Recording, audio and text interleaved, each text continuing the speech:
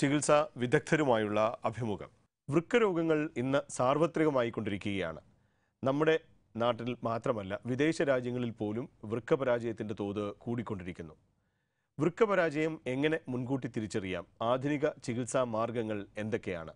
ഇതേക്കുറിച്ച് പറയുവാൻ നമ്മളോടൊപ്പമുള്ളത് യുണൈറ്റഡ് സ്റ്റേറ്റ്സിലെ ഓഹിയോയിലെ പ്രശസ്ത നെഫ്രോളജിസ്റ്റ് ഡോക്ടർ പയസ് കുര്യനാണ്. സർ പൾസിലേക്ക് സ്വാഗതം. ഈ വൃക്കപരാജയം ഇന്ത്യയിൽ ഇന്നൊരു വലിയ പ്രശ്നമാണ്. പ്രത്യേകിച്ച് ഡയബറ്റീസ് ഒക്കെ വന്നു കഴിഞ്ഞപ്പോൾ. ഇത് ആഗോളതലത്തിൽ തന്നെ ഒരു വലിയ പ്രശ്നമാണോ? അതെ. അമേരിക്കയിലാണെങ്കിലും വൃക്കപരാജയം അമേരിക്കയിലെ രോഗികൾ പ്രത്യേകിച്ച് ഡയബറ്റിക് രോഗികളിൽ വളരെ വലിയ ഒരു പ്രശ്നമായി മാറിയിരിക്കുകയാണ്.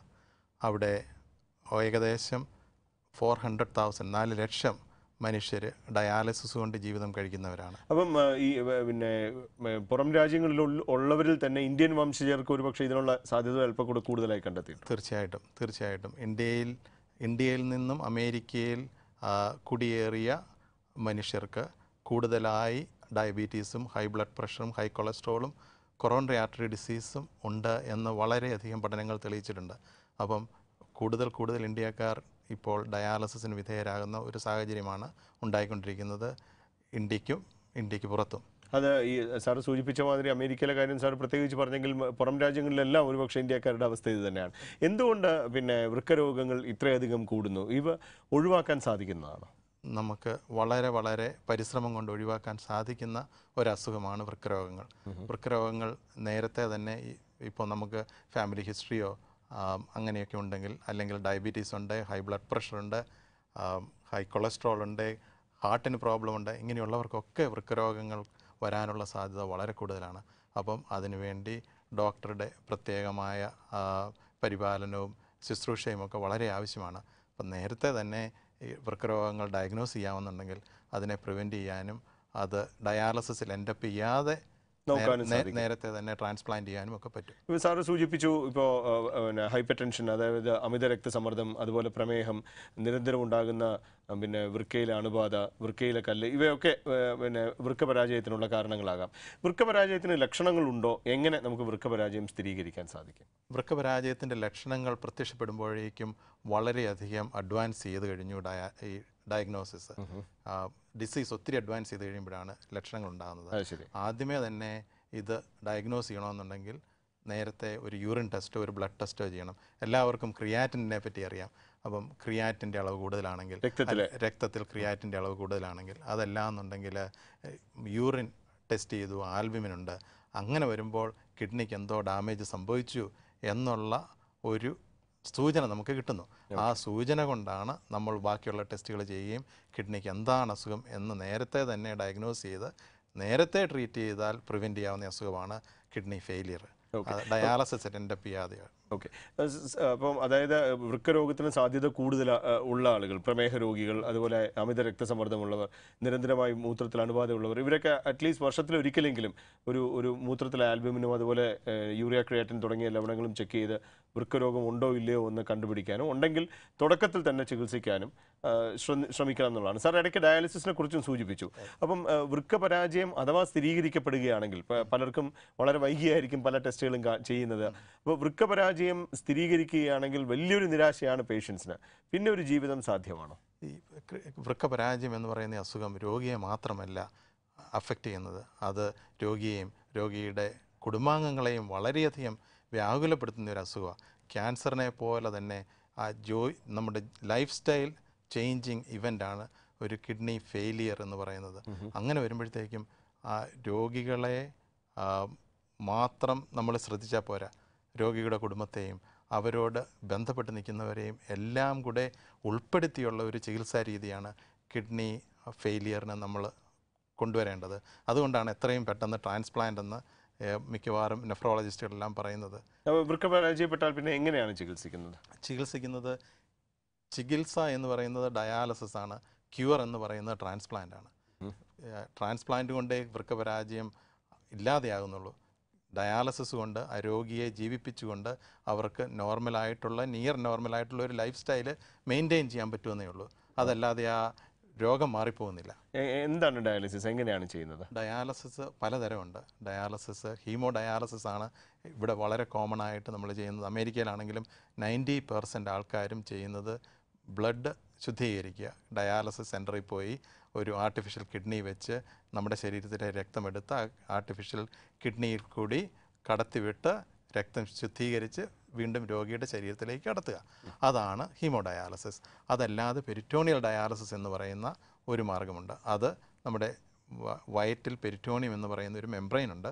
അവിടേക്കൊരു ട്യൂബ് കടത്തി ഒരു ഫ്ലൂയിഡ് ഒഴിച്ച് അത് നാല് മണിക്കൂർ നേരം വെച്ച് ആ നമ്മുടെ ശരീരത്തിലെ എല്ലാ പോയിസണും വലിച്ചെടുത്ത് വെളിയിലേക്ക് കളയുന്ന ഒരു സംവിധാനമാണത്.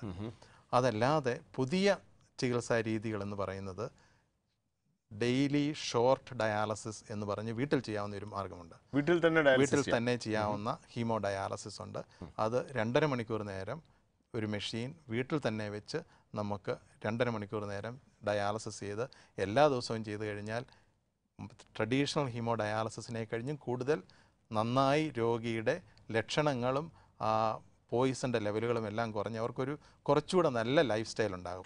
വൃക്ക രോഗങ്ങൾ ഉണ്ടാകാതിരിക്കാൻ അല്ലെങ്കിൽ വൃക്ക പരാജയം ഒഴിവാക്കുവാൻ താങ്കളുടെ അനുഭവജ്ഞാനത്തിന്റെ ആ, ആ, പുറത്ത് നമ്മുടെ തദ്ദേശവാസികൾക്ക് എന്തുപദേശമാണ് താങ്കൾക്ക് നൽകാൻ സാധിക്കുക ഏറ്റവും പ്രധാനപ്പെട്ട കാര്യം ഡയബറ്റീസ് ഉള്ള പ്രമേഹമുള്ള ആൾക്കാർ അത് ചെക്ക് ചെയ്യുകയും അത് ശരിക്കും കൺട്രോൾ ചെയ്യുകയും ചെയ്യുക. ബ്ലഡ് പ്രഷറുള്ള ആൾക്കാർ പ്രത്യേകിച്ചും പ്രമേഹ രോഗികൾ ബ്ലഡ് പ്രഷറും കൂടി ഉണ്ടെങ്കിൽ തീർച്ചയായും ആ ബ്ലഡ് പ്രഷർ നൂറ്റി ഇരുപത് എൺപതിൽ താഴെ നിർത്തുവാൻ നോക്കുക. മൂന്നാമതായി അനാവശ്യമായ മരുന്നുകൾ ഉപയോഗിക്കുന്നത് നിർത്തുക. പ്രത്യേകിച്ച്. വേദന സംഹാരികൾ. അതാണ് ഈ വക പ്രശ്നങ്ങൾക്കെല്ലാം ഇതെല്ലാം കൂടെ കൂട്ടിക്കുഴയുമ്പോഴാണ് പ്രശ്നങ്ങൾ ഉണ്ടാകുന്നത്. നാലാമത് ഹൃദ്രോഗബാധയുള്ള ആൾക്കാർ തീർച്ചയായും കൂടുതൽ റിസ്ക് ഉള്ളവരാണ് കിഡ്നി ഫെയിലിയർ ഉണ്ടാകാൻ.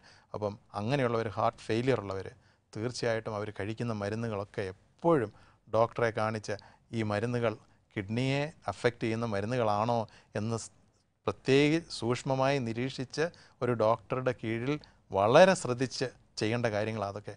അതല്ല എന്നുണ്ടെങ്കിലാണ് നാലും മൂന്നും നാലും കൊല്ലം വളരെ സുഖമായി അങ്ങ് പോകുന്നു. പെട്ടെന്നൊരു ദിവസം ആശുപത്രി വരുന്നു. ശ്വാസം വിടാൻ മേല കാലിലും കയ്യിലും നീര് ഒന്നും കഴിക്കാൻ മേല ഛർദ്ദിക്കുന്നു. അങ്ങനെയുള്ളൊരു സിറ്റുവേഷനിലാണ് ആശുപത്രിയിലേക്ക് വരുന്നത്. അന്നേരം ഡോക്ടർക്കൊന്നും പറയാനില്ല അതർ ദാൻ ഡയാലിസിസ് തുടങ്ങാം എന്നല്ലാതെ വേറൊന്നും ചെയ്യാനില്ല. ഇത് ഒഴിവാക്കാനുള്ള ശ്രമം പരിശ്രമം തുടക്കത്തിൽ തന്നെ വളരെ തുടക്കത്തിൽ തന്നെ ചെയ്യാന്നുള്ളതാണ്.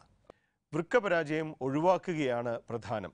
ഇതിനായി പ്രമേഹവും രക്തസമ്മർദ്ദവും ചിട്ടയായി ചികിത്സിക്കണം. അനാവശ്യമായ വേദന സംഹാരികൾ ഉൾപ്പെടെയുള്ള മരുന്നുകൾ ഒഴിവാക്കണം. ഡോക്ടറുടെ നിർദ്ദേശപ്രകാരവും മേൽനോട്ടത്തിലുമായിരിക്കണം തീർച്ചയായും ചികിത്സ. സ്വയം ചികിത്സ ഒരിക്കലും നല്ലതല്ല. ഇവിടെ പറയുന്ന ഈ ചെറിയ കാര്യങ്ങൾ ശ്രദ്ധിക്കുകയാണെങ്കിൽ വൃക്കപരാജയം തീർച്ചയായും ഒഴിവാക്കുവാനാകും.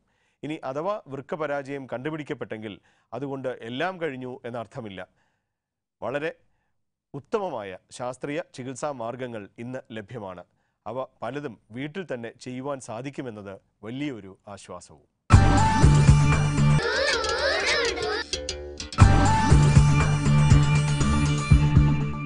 എക്സ്പേർട്ട് ഒപ്പീനിയൻ വൈദ്യശാസ്ത്ര ചികിത്സാ രംഗത്തെ വിദഗ്ധർ. പ്രേക്ഷകരുടെ ആരോഗ്യത്തെക്കുറിച്ചുള്ള സംശയങ്ങൾക്ക് മറുപടി നൽകുകയാണ്.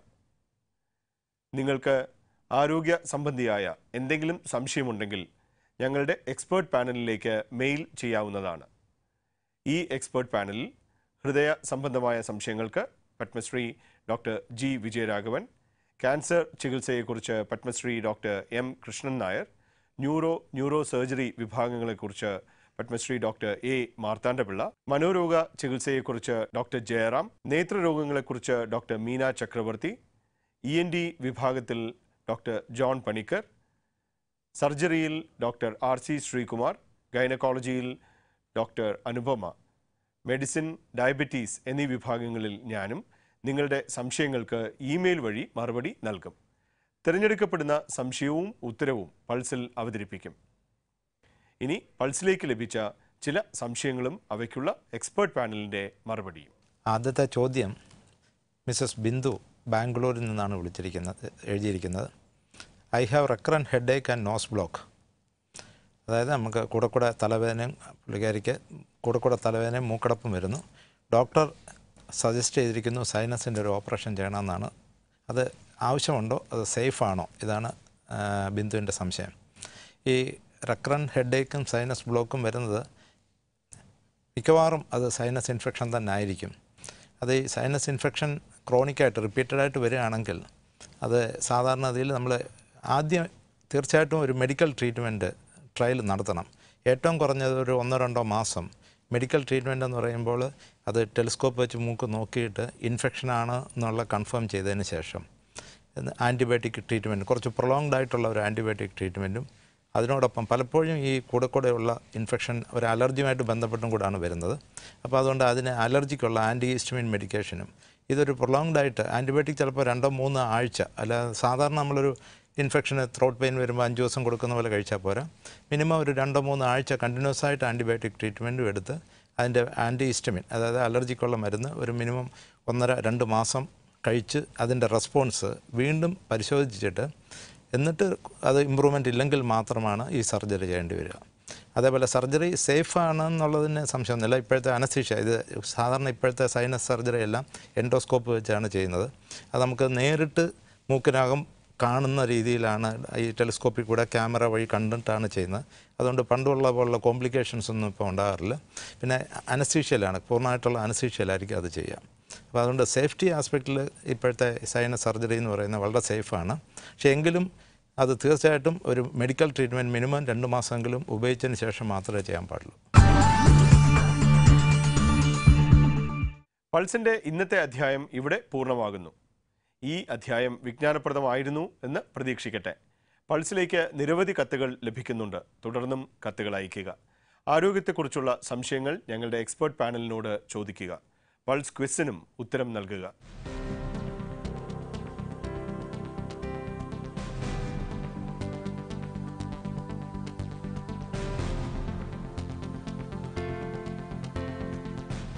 ആരോഗ്യരംഗത്തെ കൂടുതൽ വാർത്തകളും വർത്തമാനങ്ങളുമായി അടുത്തയാഴ്ച ഇതേ സമയം വീണ്ടും